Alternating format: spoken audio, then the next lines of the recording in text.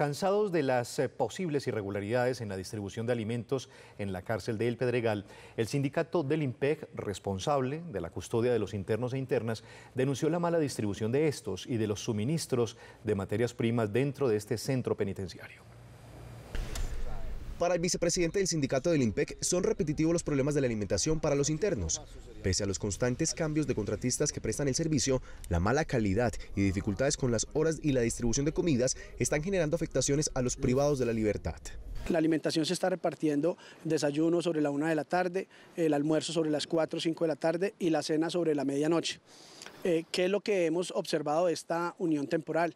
De que sigue sucediendo los casos de corrupción que pasa eh, unión temporal tras unión temporal. Estamos hablando desde la cárcel de mujeres del Pedregal. La última comida nos la hemos comido 10 y media, 11, 1 de la mañana.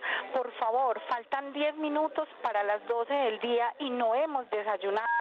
Según el Dragonante, a los internos que apoyan la realización de las comidas no se les han pagado y que es mala la calidad de lo que allí se consume. Si hoy, para hoy en el menú dice que el desayuno es queso, eh, la unión temporal no tiene el, abastecimiento suficiente en su bodega, sino espera a que le fíen porque desde el mes de enero no pagan servicios. La guardia del centro carcelario insiste en la necesidad de que los entes de control actúen cuanto antes.